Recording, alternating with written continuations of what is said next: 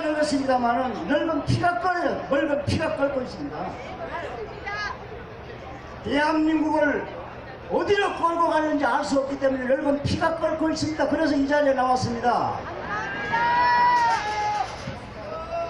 저는 대한민국이 없어지고 일제 말기를 지켜본 사람이고요. 8.25 해방정국을 지켜보고 6.25 김일성의 불법 남침을 살았던 사람입니다. 그 뒤에 산업화 세월을 살아온 사람인데 세계적으로 가장 자랑할 수 있는 나의 조국 대한민국 이 대한민국이 지금 어디로 갈는지 알 수가 없습니다. 4.27 판문점 선언 4.27 판문점 선언 북한의 김정은의 한마디에 의해서 지금 끌려가고 있습니다. 문정인 정권이 김정은의 한마디에 의해서 방향을 모르고 끌려가고 있는 것이 아니냐 생각을 합니다. 저는 저는 김일성 3대 세석 권력이 남한의 친북 좌파 정권 3대하고 결합을 해서 북한의 세석 정권 3대 남한의 친북 좌파 정권 3대가 야합을해서 낮은 단계 연방제로 대한민국을 끌고 가려고 하는 것이 아니냐 생각을 합니다.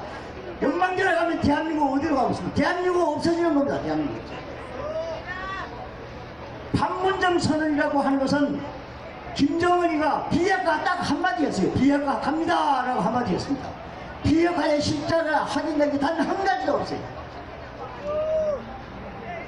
트럼프와 김정은이가 회담을 할 때 어떤 결론이 나오는지 모르겠습니다만은 이 시간 현재 판문점 선언에 의해서 한반도의 운명이 어떻게 되는지 확인된 사항은 단 한 가지도 없습니다. 그런데 지금 문재인 정부는 연내에 벌써 종전선언과 평화협정을 얘기를 하고 있습니다. 평화협정을 간다는 것은 무엇을 말하는 것입니까? 한미동맹이 없어지는 겁니다. 주한미군 철수한다는 얘기입니다. 주한미군이 철수되면 대한민국의 안보가 어디로 가는 겁니까? 누가 이걸 결정하는 겁니까? 누가? 대한민국 국민이 아니고 누가 이걸 결정하는 겁니까? 김정은이 한마디에 의해서 끌려갈 수가 있습니까? 그래서 이 늙은 피가 참지 못하고 이 자리에 나왔다 생각합니다. 대한민국 애국 총연합 여러분, 이 우리 조국 대한민국은 피로서 지킨 나라이고 목숨을 바쳐서 끌고 지켜가야 될 나라입니다. 저와 같은 사람은 태극기만 보면 애국가만 들면 피가 자동적으로 끓게 돼 있어요. 이 나라를 김일성이, 김정일이가 가지고 놀고 있는데 누가 놀으라고 있어요?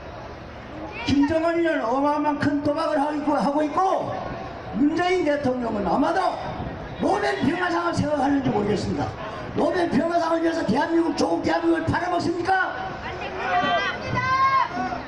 저는 이 늙은 세대, 늙은 세월까지 살아올 때까지 이렇게 허무맹랑한 정권을 처음 봤습니다. 자, 엊그제 문정부, 문정, 문정부가 중고등학교 교과서 지필기준 최저안을 발표했어요. 역사 교과서 지필기준 최저안에 무엇이 있는지 보셨죠? 대한민국 헌법이 규정하고 있는 자유민주주의의 자유를 싹 빼보세요. 자유민주주의의 자유를 빼면 무슨 민주주의가 남습니까? 북한 김일성의 김정은의 인민민주주의입니다. 인민민주주의. 자유민주주의에서 자유를 빼게 되면 북한이 말하는 인민민주주의가 되는 겁니다. 그걸 지금 대한민국 교육부가 지금 당연히 선언하고 있어요. 뿐만 아니고 이 한반도에서 대한민국이 유일한 합법 정부라는 것을 삭제하는 거예요. 합법, 합법 정부는. 한반도의 유일한 합법 정부를 삭, 삭제하려면 어떻게 되는 겁니까? 한반도에 있는 북한에 있는 불법 집단도 합법 정부가 된다는 얘기입니다.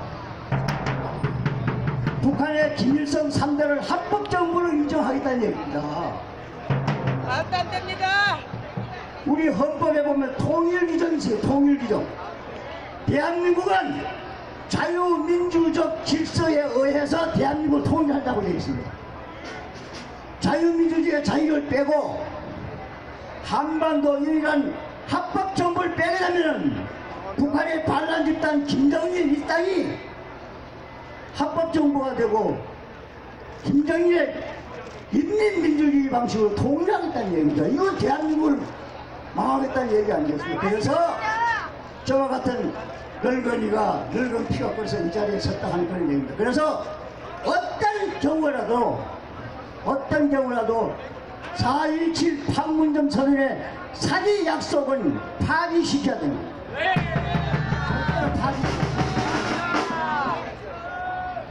북한의 저, 저, 저, 미국의 미국은 이미 북한의 비핵화를 완전한 비핵화, 비핵화에서 영구불변의 비핵화로 가고 있습니다. 완전한 비핵화에서 영구불변의 비핵화로 가고 있는데 우리는 문재인 정권은 김정은이가 말로 약속한 비핵화 한마디를 보고 벌써 국가 안보 체제를 전부 허물어뜨리고 있어요. 전부 허물어뜨리고 있어요. 이거 누구의 뜻입니까? 헌, 헌법학자들한테 물어보세요. 전부가 헌법위원입니다, 위원. 헌법을 위반하는 대통령은 어떻게 됩니까? 대한민국의 헌법을 위반하는 대통령은 어떻게 됩니까? 탄핵입니다, 탄핵. 국민이 인정하지 않았어요. 국민이 인정하지 않았어요. 그게 지금 판문점 선언인 겁니다. 그래서 선언을 대국민 사기 아니냐라고 지적을 하는 겁니다. 그래서 태극기 애국 총연합 여러분들과 함께 4.17 판문점 사기 약속을 파기시키기 위해서 우리 태극기 세력이 끝까지 투쟁해야 된다고 생각합니다. 에...